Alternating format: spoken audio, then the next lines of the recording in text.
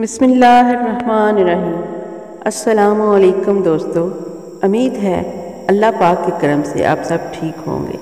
जो दोस्त मेरे चैनल पर नए आए हैं, वो बर मेहरबानी मेरा चैनल सब्सक्राइब कर दें और बेल नोटिफिकेशन ऑन कर दें, ताकि नई आने वाली वीडियो आपको सबसे पहले मिल जाए। तो चलें, कहानी की तरफ़ चलते हैं। इसके हाथ में पकड़ी तस्वीर पर गहरे सुहर रंग के छींटे आकर गिरे। एन बिजली की आवाज़ के साथ। कक कौन है? सबा ने चारों तरफ़ नज़र दौड़ाई। चार्जिंग लाइट की मदम रोशनी में कमरा बहुत पुरसरार, बल्कि भयानक लग रहा था। हिम्मत करके इसने दोबारा पुकारा, कौन है? आहर कौन हो तुम? अचानक एक सिसकी कमरे में गूंज गई। हाँ। सबा को लगा, खौफ से इसका दिल फट जाएगा। कमरे की हल्की आसमानी दीवार जो इस वक्त मिलगजे अंधेरे में डरानी लग रही थी इस पर आहिस्ता आहिस्ता लफज उभरने लगे। सबा अपनी चीखें रोकने को दोनों हाथ अपने मुँह पर रख लिए।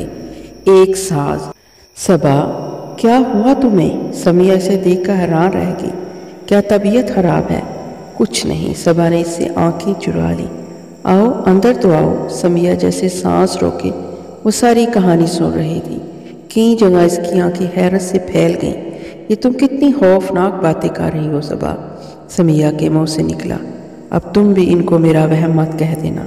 इसका एक एक लफ्ज़ बिल्कुल सच है सबा ने रूखेपन से कहा।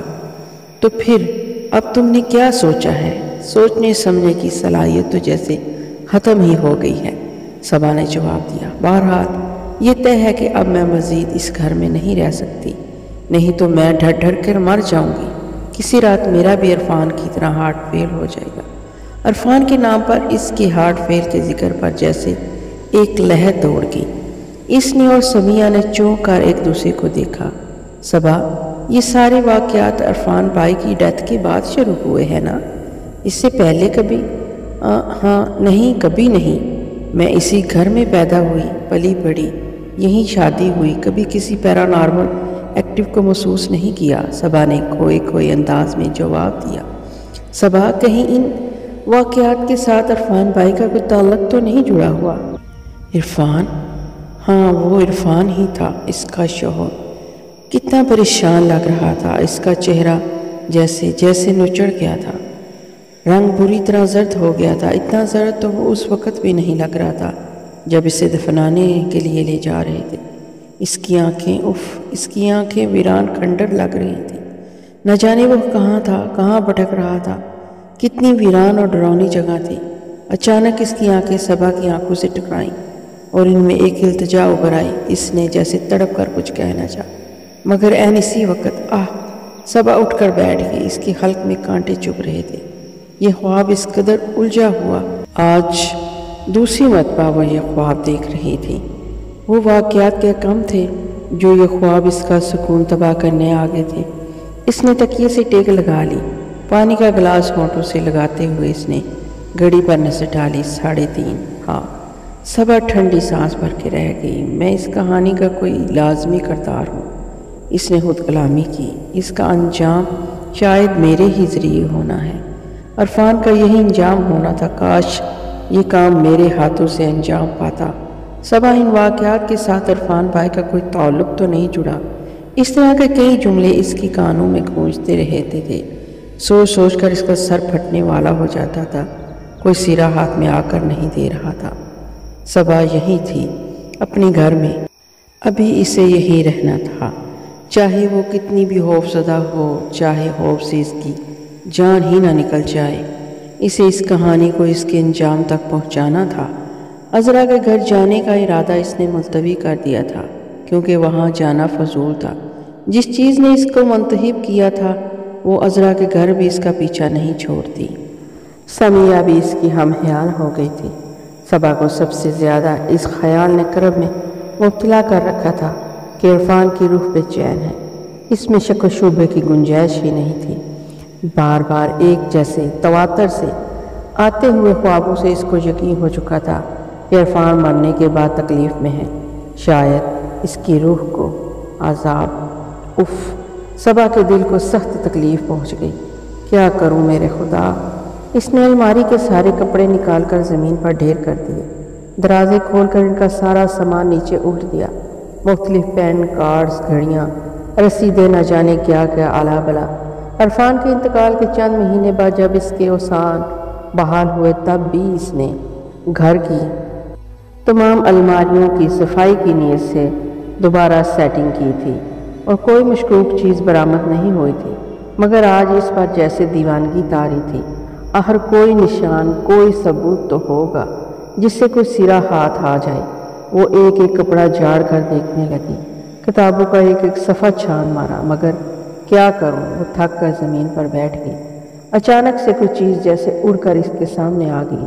सबा बेख्तियार उछल गई। मेरे खुदाया इसके मुँह से निकल गया। इस बंद स्टोर में हवा का तो नाम निशान ही नहीं था। ऐसे में अलमारी के ऊपर रखी, बल्कि शायद फेंकी गई। किसी चीज़ का अचानक नीचे आकर गिरना इतफाक बिल्कुल नहीं था। सबा ने लड़ते हाथों से डब्बा उठा लिया। गत्ते का बना हुआ वह छोटा सा, किसी घड़ी का खाली डिब्बा था। सबा बड़ी मुश्किल से उठकर खड़ी हो गई। शुक्रिया, इसने आवाज़ बुलंद कहा और बाहर निकल गई। तकरीबन आधी रात से ज़्यादा रात गुजर चुकी थी। सबा सोफे पर पड़ी एक टिक छत को घूर रही थी तो ये वजह थी इरफान के आखिरी सालों के रवैये की। सबा ने अपने आप से सवाल किया। ये वजह थी जो पूरी पूरी रात घर से बाहर रहता था, फ़ोन पर लंबी लंबी बातें करता था। इससे मज़ीद दूर हो गया था। सबा की आँखों के किनारे भीग गए इसके दिल को शदीद चोट पहुँची थी। सुबह का मंजर इसकी आँखों में डूम गया था। इसने कांपते हाथों और धड़कते दिल के साथ डब्बे का ढक्कन उठाया। इसका दिल गवाही दे रहा था कि कोई राज गहरा खुलने वाला है, मगर क्या डब्बे के अंदर एक मुड़ा तुड़ा कागज़ बुरी तरह ठोंसा गया था। सबा ने इसको खींच कर बाहर निकाला तो इसके साथ एक तस्वीर भी नीचे गिर गई। सबा ने चुप कर तस्वीर उठाई। तो के मुताबिक वो एक लड़की की तस्वीर थी। इसने आहिस्ता आहिस्ता कागज़ को सीधा किया। वो एक दस्तावेज़ थी, एक निकाहनामा। इरफान की दूसरी शादी का निकाहनामा। वो गुमसुम सी बैठी इस पर नज़रें दौड़ा रही थी। निकाहनामे पर सात साल कबल की तारीख थी। हैरत अंगेज़ तौर पर शादी के खाने में अरफान ने लिखवाया था कि ये इसकी दूसरी शादी है। यानी वो लड़की जानती थी कि इरफान की पहली बीवी मौजूद है। और सबा अरफान के साथ 20 साल गुजारने के बाद इसकी मौत के बाद इस हकीकत से वाकिफ़ हुई थी कि इनकी ज़िंदगी में कोई और औरत भी मौजूद है। न जाने क्यों इरफान के साथ रहते हुए सबा को कभी ये एहसास ना हो सका कि इसको इरफान से मोहब्बत है, शदीद मोहब्बत। इरफान के तलख रवैये ने इसको कभी ये इतराफ़ ही ना करने दिया, अपने आप से भी नहीं, मगर शायद ये रिश्ता ही ऐसा है। सबा ने अपने आप को से कहा, इंसान अपने जीवन साथी पर सबसे ज़्यादा हक समझने लगता है। शायद इसे अपनी जागीर सबा ने तस्वीर पर दोबारा नज़र डाली। वो एक बेहद हसीन लड़की की तस्वीर थी। सबा खुद भी बहुत प्यारी थी। इस उम्र में भी गज़ब डाती थी। मगर ये तस्वीर वाली लड़की सबा ने आज तक इतना हसीन चेहरा नहीं देखा था। गोरा रंग सबज आँखें वो मुस्कुरा रही थी। इसके गालों में गहरे डिम्पल पड़ रहे थे। शायद इसके हुसन की वजह से अरफान ने मुझसे बेवफाई की थी। सबा ने खुद को जैसे तसल्ली दी। मगर क्या किसी भी औरत के हुसन की वजह से बेवफाई जायज़ हो सकती है? सबा ने मुझसे सवाल किया। वो एक झटके से सोफे पर उठकर बैठ गई। कौन हो तुम? इसने चीख कर पुकारा। इरफान मर चुका है। इसने दो शादियाँ की हों या दस। मेरा इस बात से क्या तल्लक है? मुझे जियत देकर तुम्हें क्या मिला? जवाब दो। सबा हजियानी अंदाज में चीख रही थी। मगर आज कोई जवाब नहीं आया। आ जाओ समिया, सभा ने दरवाज़ा खोलकर समिया को रास्ता दिया। तुमने चेक किया, कुछ पता चला, समिया ने जोशीले अंदाज में सवाल किया। इस अंधेरी रात के सफ़र में समिया हर कदम पर इसके साथ थी।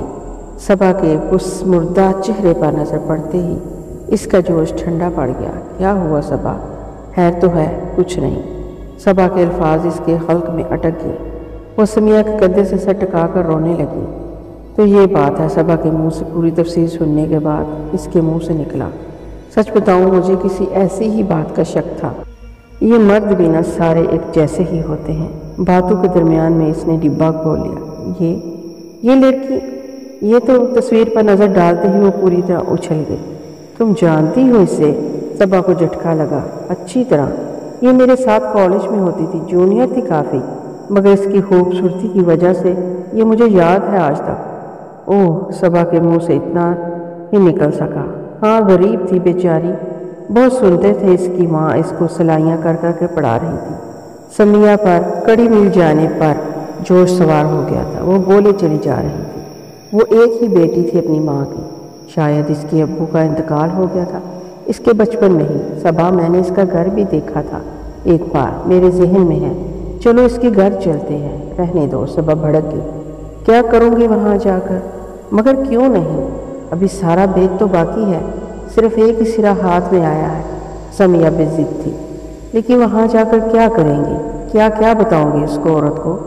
कि मैं तुम्हारे शोहर की पहली बीवी हूँ और मुझे एक नदीदा महलूक तंग कर रही है सबा ने बेजारी से कहा। इसी नदीदा महलूक से निजात हासिल करने का तरीका ढूंढना है। शायद इसके जा, घर जाकर कुछ नहीं। समिया मेरा दिल नहीं मानता। मैं इस औरत का सामना नहीं कर सकती। क्या नाम है इसका? रबाब। समिया और सबा के मुँह से एक साथ निकला। दोनों किसी ख्याल के तहत बुरी तरह चौंक गई। सबा सबा, रबाब एक सास का नाम भी होता है ना? हाँ सोच में डूबी सबा के मुँह से निकला। और इस बदरू ने तुम्हें यह बताया था ना कि वो एक साज है? तो इसका मतलब है रबाब भी इस दुनिया में नहीं रही, बल्कि शायद तुमको तंग भी उसी की रूह कर रही है। समिया कड़ियाँ मिला रही थी। चलो समिया सबा खड़ी हो गई इसके घर चलते हैं। तुमको रास्ता याद है ना? काफ़ी देर तंग गलियों में भटक कर दोनों आखिरकार मंजिल मकसूद तक पहुँच गई। एक मोतसी सा घर जिस पर गुर्बत और बदहाली जैसे टपक रही थी। काफ़ी देर दस्तक देने के बाद एक दरमियानी उम्र की खतून ने दरवाज़ा खोला। हाँ भाई, किससे मिलना है? जी हम, वो रबाब की दोस्त। मेरा मतलब है कॉलेज की। वो है यहाँ। यही रहती थी ना बहुत पहले। समिया ने अटकते हुए कहा। हालाँकि वो सारे रास्ते जेन में तरतीब देती आई थी कि क्या कहना है। सब आके तो पूरे रास्ते लब सिए हुए थे। वो ना जाने कहाँ खोई हुई थी। चश्मे की ओर से वो औरत उन देनों का न जाने क्यों गोर रही थी। दफ़ा हो गई है वो बहुत साल पहले। न जाने कहाँ। समिया की बेरब्त तकरीर के जवाब में ये जुमला उगल कर वो दरवाज़ा बंद करने लगी। अरे अरे, एक मिनट आंटी, ये क्या कह रही हैं आप? सबा और समिया बुरी तरह बुखला गई जो तुमने सुना वही कह रही हैं। और अगर तुम इस बगैरत की सहेलियाँ हो तो तुम भी फ़ौर यहाँ से दफ़ा हो जाओ, और दोबारा दरवाज़ा बंद करने लगी। आंटी प्लीज़ इतनी देर में पहली मरतबा सबा के मुँह से निकला। हमें अंदर आने दें, सिर्फ़ दस मिनट के लिए। हमारी चंद बातों के जवाब दे दें, फिर हम दफ़ा हो जाएँगे, हमेशा के लिए। सभा के लेजे में इतना करब था कि वो खुश्क मजाज औरत ठटक गई। ठीक है, मगर सिर्फ़ दस मिनट। मुख्तर कमरे के एक कोने में एक चार पाई पड़ी हुई थी। वो दोनों इस पर बैठ गए। एक कोने में दो तीन पुराने स्टाइल के लोहे के संदूक, एक दूसरे के ऊपर धरे हुए थे, जिन पर कपड़ा डाला हुआ था। सब और सुनिया का जायजा चंद सैकड़ों में ही मुकम्मल हो गया। यहाँ किराए पर फ्री रहती थी दोनों माँ बेटियाँ साल हर साल से। माँ बेचारी तो बहुत शरीफ और सादा थी, मगर रुबाब उफ, खुदा की बना इसने कानों को हाथ लगाए। बेचारी माँ ने रात रात भर सिलाइयाँ करके बेटी जवान की, पढ़ाया, लिखाया, जवान हुई तो क़्यामत की हँसी निकली। और फिर क्या क़्यामत मचाई इसने वो? औरत इस कदर नागवार अंदाज में सब बता रही थी जैसे कल की बात हो। इतनी मिन्नत समाजत की माँ ने कि अगर नौकरी करना ही है तो किसी स्कूल में कर ले, मगर ना बाबा। स्कूल की नौकरी में वो रंगरलियाँ कहाँ मनाई जा सकती है? न जाने किस ऑफ़िस में कुछ महीने नौकरी की और न जाने किसको पकड़ लाई कि मेरा शोहर है। लो बोला ऐसे क्या रास्ते में पड़े मिल जाते हैं शोहर? इसने मुँह बगाड़ कर कहा। सबा घबरा कर दूसरी तरफ़ देखने लगी। क्या ऐसे होती हैं शादियाँ? न माँ शरीक हुई। तो दोस्तों, कहानी का दूसरा हिस्सा आपको कैसा लगा? अपनी राय का इजहार कमेंट बॉक्स में ज़रूर करिएगा। और मुझे सपोर्ट करिएगा। और हाँ रमज़ान की बहुत बहुत मुबारक आपको। शुरू में मुबारक देना भूल गई थी, एंड में आपको मुबारक दे रही हूँ। फिर मिलेंगे इन अल्लाह हाफिज़।